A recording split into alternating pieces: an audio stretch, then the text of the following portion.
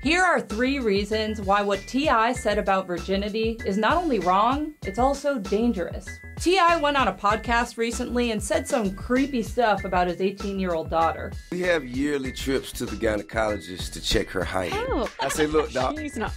she don't ride no horses, she don't ride no bikes, she don't play no sports, man. Just check the hymen, please, and give me back my results. Expeditiously. I will say, as of her 18th birthday, her hymen is still intact. First, virginity is a myth anyway. Virginity, which usually references penis and vagina sex, is not a scientific term, but instead a social, cultural, and religious construct that enforces discrimination against women. Plus, there are plenty of people out there who technically never lose their virginity if you're talking about it in the biblical sense. What if you're gay, lesbian, bisexual, pansexual, queer, trans? Pretty hard to fit into that narrow definition of virginity if you're not a cis woman getting freaky with a cis man. And sex isn't just that one grand act, but rather a beautiful, sexy range of intimate experiences that people should be able to define themselves. Next, what T.I. said is based on bad science. Basically, a broken hymen isn't an indicator of sexual intercourse. The hymen is a thin tissue with no known function that stretches across the opening of your vagina. But here's the thing just like every other part of our bodies, not every hymen is the same.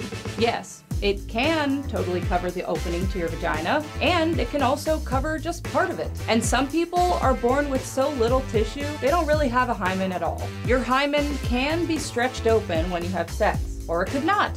It's a flexible tissue, and it can also be stretched out by putting in a tampon for the first time, or doing physical activities like riding a bike.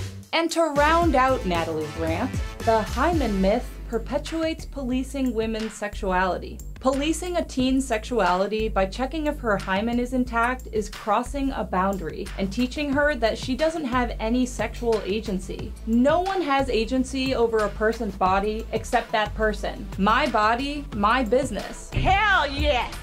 And T.I. checking in on his daughter's hymen is not so far off from the dangerous, common practice of virginity testing that sadly is still happening in countries everywhere, from Egypt to India to the UK and Canada. Virginity testing is an exam where a girl or woman's hymen is inspected or tested and is usually performed by doctors, community leaders, or police officers. Ew.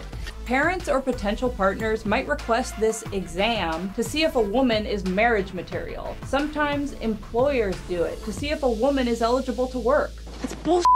In conclusion, good parenting isn't commissioning a traumatizing, invasive, and medically inaccurate exam on your daughter's vagina to see if she's still a virgin. It's creating an environment of trust where your kid feels safe enough to openly talk about sex and intimacy and making sure they know they have agency over their body.